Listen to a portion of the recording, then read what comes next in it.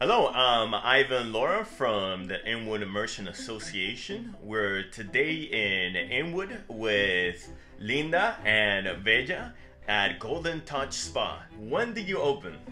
Ah, nosotros abrimos el 2019. Why was it that you decided to open over here in Inwood? Quería notar una comunidad tanto como hispana, tanto una comunidad que tiene diferentes um, Diversidades. diversidades. That's excellent.